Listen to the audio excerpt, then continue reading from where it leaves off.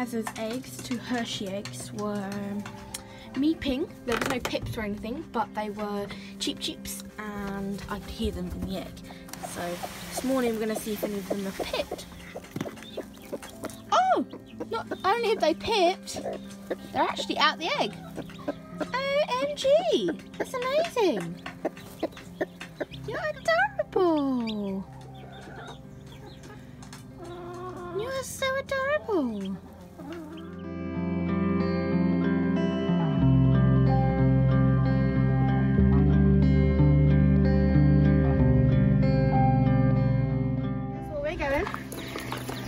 To put these cutie adorables on the Caz. She only hatched two.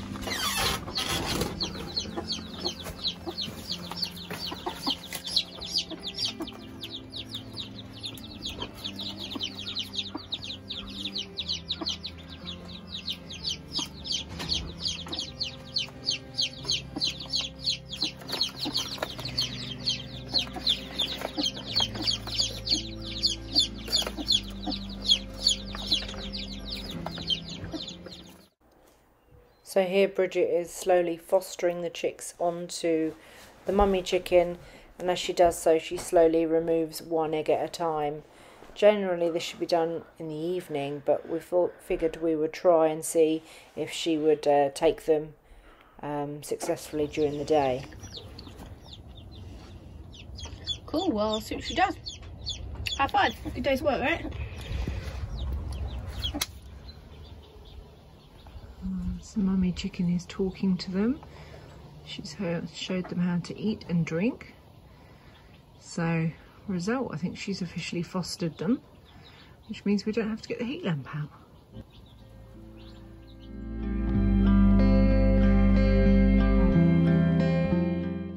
So this will probably be the last mating before the summer because they don't do so well in the heat.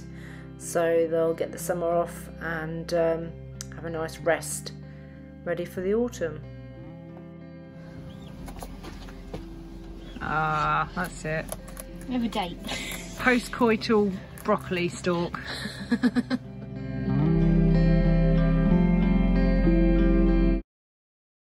So we have the six pullets and they're talkative and healthy and brown. Say hi, Fruit and Nut. Say hi, Whisper and Mars. Say hi, Twirl. and Galaxy.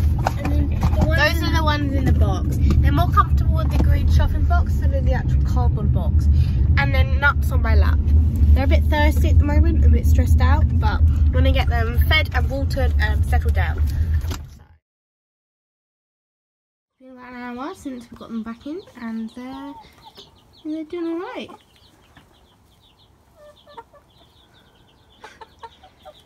yeah. We've had a few people ask um, if they can have some of our eggs, so we decided to increase the flock so that we've got extra eggs to spare.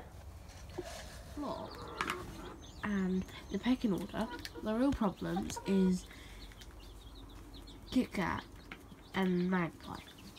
Hershey's kind of chill with it. She hangs out with them a lot actually. She's not that bothered. She's kind of like the chicken that hangs out with the kids, like those ones, you know. Uh, but uh, the white ones aren't a problem as well. I just like they just walk by without anything going wrong, just to see the food, you know. Like if if Kit Kat walked by, she'd be like beating them up on the way. Yeah. So she's she's not that great a chicken. So we've got yeah, we've got fruit, nut, Mars, Daim, Yorkie, and Galaxy. Galaxy, you coming out yet? Okay, Galaxy's busy. But there's Candy Goose laying an egg, show him how it's done. And you're all happy now, aren't you? Lots of happy noises.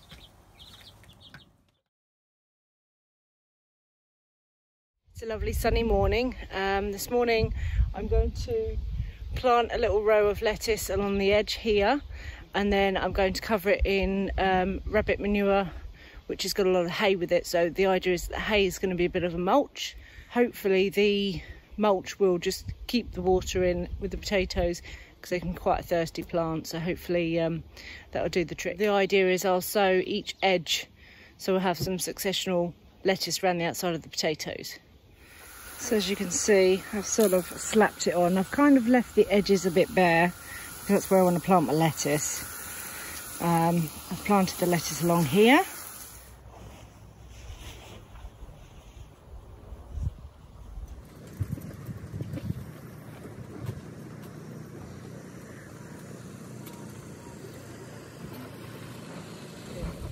Piece of timber or if I find like a length of tree trunk or something like that, if we put that along where you want this bed, mm -hmm. we it won't throw yeah. all that way. So without a doubt, our biggest challenge with this garden is the fact that we don't have any soil. There's minimal soil on top of rock. so any soil is better than no soil.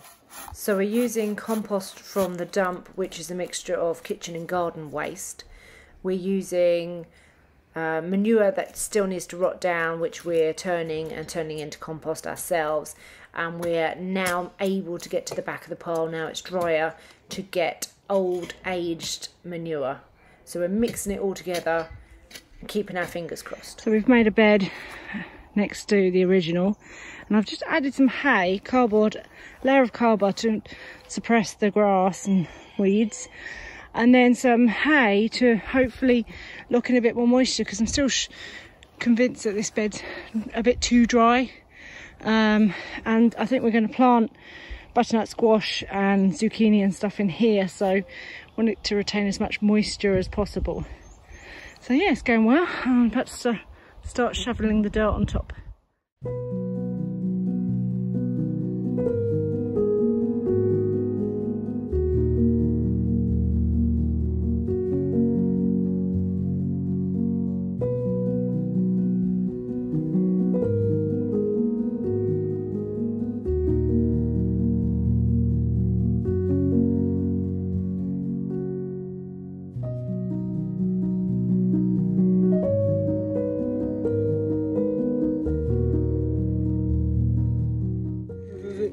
There's a zip for your tea, Marcus. You don't need to shove it up the bottom.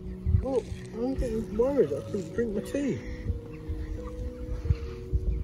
You think having experience of a, of a bee suit, I'd be able to... I still can't work it. Ah, there we go.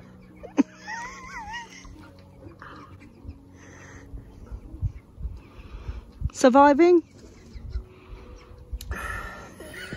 This is the new bed. And the chickens are bathing in it.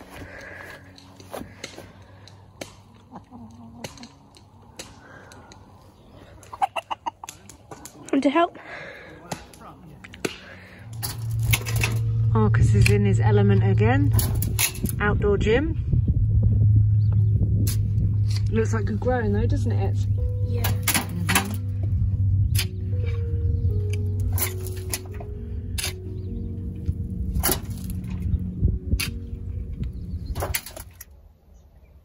It's a beautiful day here and very quiet, very still. Children are indoors doing their schoolwork. So it's blissfully quiet for once. And I'm just enjoying my coffee.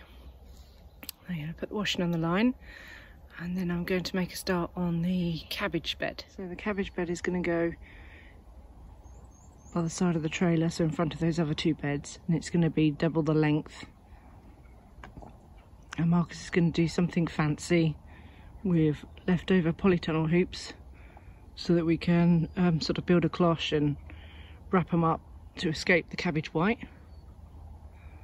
So it actually feels like it's happening. We managed to get the hoops glued up so they're ready to go on the polytunnel. So progress is finally happening. And the chickens are happy. They're having a little sunbathe in their chicken tractor. But listening to the birds is just gorgeous.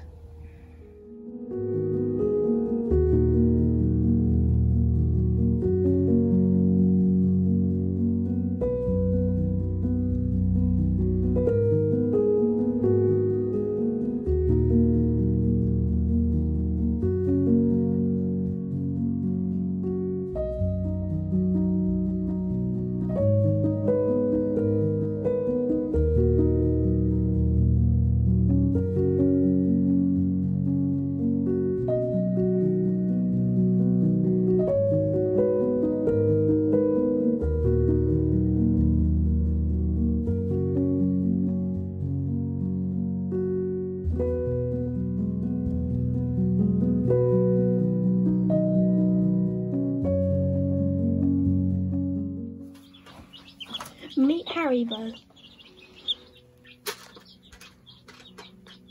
Hey, Haribo. This is Haribo. Got a very muddy body.